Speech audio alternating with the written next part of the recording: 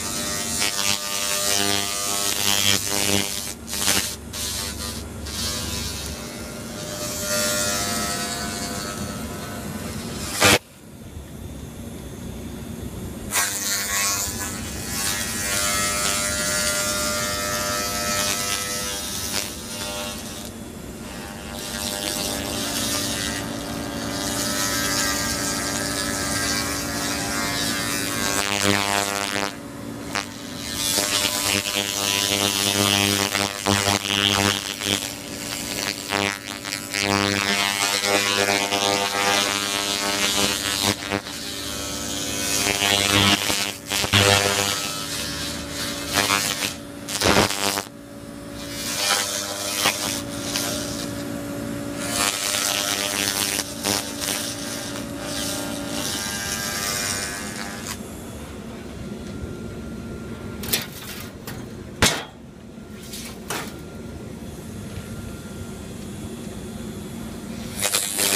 Thank you.